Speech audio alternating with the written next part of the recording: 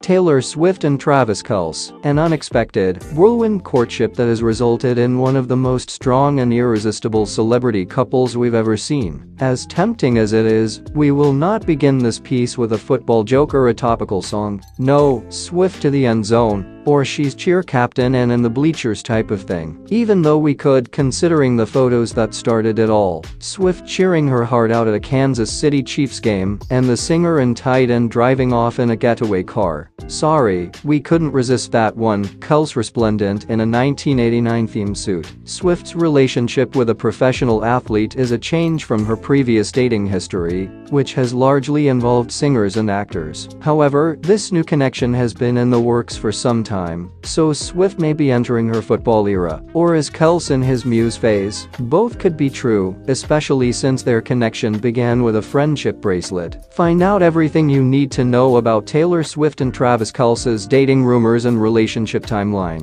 Dave Merritt, the Kansas City Chiefs defensive backs coach, is talking up about Taylor Swift's effect on his player Travis Kelce and the rest of the squad. In a new episode of The Sports Shop with Reese and Mac, Merritt offered some when she started to come around, it was privately, stated the coach. She was coming into the stadiums without people really knowing until the camera put a big spotlight on her. She actually influenced the team in a positive way, Merritt said. It was not in a negative way. Everyone seemed thrilled that Travis was pleased. When my player, brother, is happy alongside me, it supports and encourages me. Travis came in there as a different man, so she assisted us. One could even say he is a better man. Am I right? After the Kansas City Chiefs won back-to-back -back Super Bowls in 2024, Taylor Swift and Travis Kelce celebrated on the dance floor. During the post-game program, Swift was seen holding hands with Kelce's mother, Donna, as they cheered on the tight end. Later that night, the couple was seen sweetly singing, dancing, and kissing to an up-tempo remix of Swift's song, Love Story. You can view the footage here and here. The cuteness is nearly intolerable. It was a scene straight out of High School Musical, One Tree Hill, or A Cinderella Story. Whatever your teen romance preferences, Kelce and Swift's on-field hug was pure movie. The duo hugged kissed and whispered sweet nothings to each other on the Baltimore Ravens field after the Chiefs won the AFC Championship